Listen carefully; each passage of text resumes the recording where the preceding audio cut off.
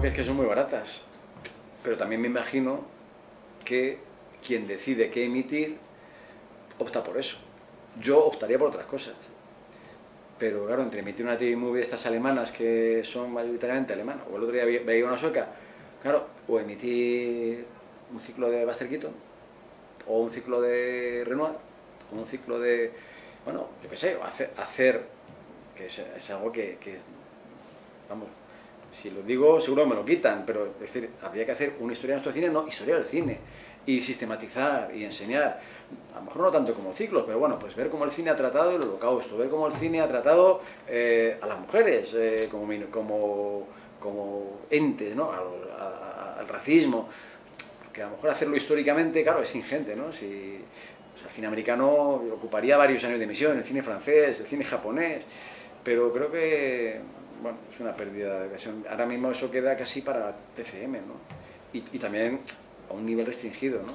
Pero una cadena pública, generalista, yo estoy seguro que si mañana se pone el maquinista general o Luces de la Ciudad, va a arrasar, va a arrasar. Y no pasa nada, y además no pasa nada porque diga, es que, es que se puede y se debe ver una película en blanco y negro y en cuatro tercios y muda. Se puede y se debe porque es que es emocionante.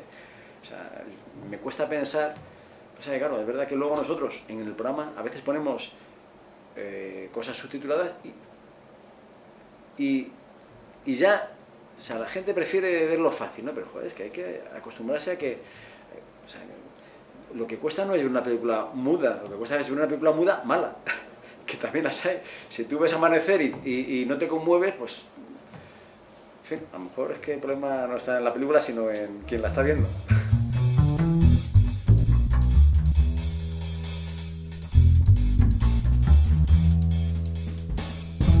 en el programa una sección que se llama Archivos ya de Cine, que recuperamos eh, gente que hemos entrevistado hace años para, para, introducir lo nuevo que han hecho. ¿no?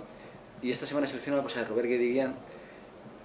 Se andaba con un preámbulo muy largo que no acaba de centrarse y de repente se centra y dice, dice lo que voy a decir no quiero que parezca una butad o una frase hecha. Dice, pero el verdadero peligro consiste en no arriesgarse. Y me parece que es eh, una frase maravillosa que sirve para muchas cosas además.